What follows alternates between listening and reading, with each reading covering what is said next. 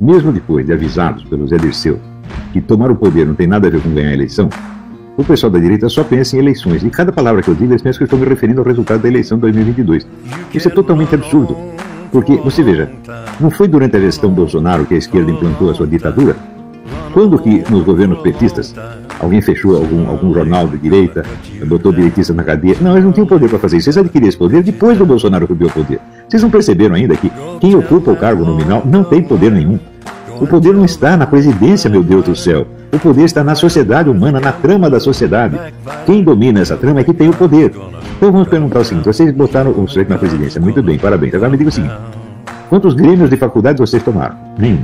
Quantas redações de jornal vocês tomaram? Nenhum. Quantos sindicatos vocês tomaram? Nenhum. É, quantas igrejas de teologia de libertação vocês tomaram? Nenhuma. Em suma, vocês deixaram tudo na mão dos comunistas.